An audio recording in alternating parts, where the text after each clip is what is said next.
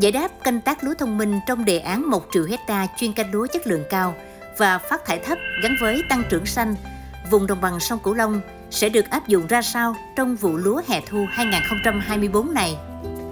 Những nội dung này sẽ có trong chương trình Canh tác thông minh phát sóng ngày 5 tháng 5 năm 2024. Phân bón đầu châu, bạn đồng hành của nhà nông.